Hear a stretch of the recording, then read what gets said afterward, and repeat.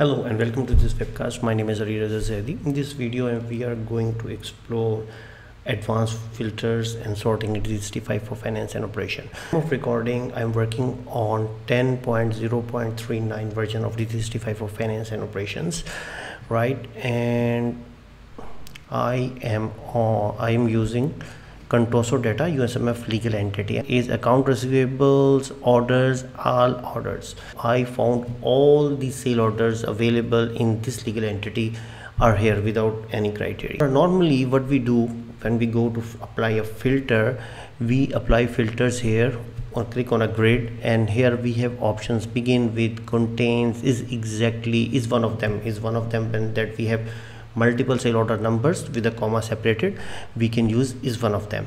So this is the normal behavior. But in advanced where advanced filters and sorting we have more flexibility that we can even add uh, custom uh, we can add filters on same tables. Uh, you can see without any adding anything we have a worker and pupil and we we can apply filters returns. For example the return status is not cancelled or is created. For a sorting like that all the sale orders will be in ascending order with the sale order number. So we have ascending criteria is here. Now we are going to add a custom join on it. For example if i click on a join and click here on a sale order we have option to show details when this when we click on this you can see the relationship that more details start to be appear on a which field the relationship is. For this demonstration i'm going to create a query. Uh, for example I the grid shows all the sale orders which belong to a certain customer that are on hold.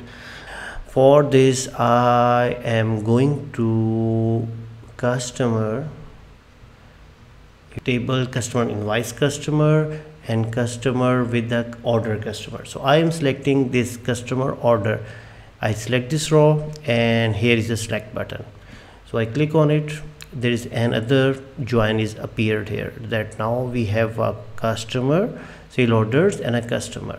So if i go back to a range and i click on add i click on this drop down and here is also customer is available I select that customer derived table is also customer and field I am going to select account status right? And if I click here I have two options hold and open. I select the hold and oh, click on OK.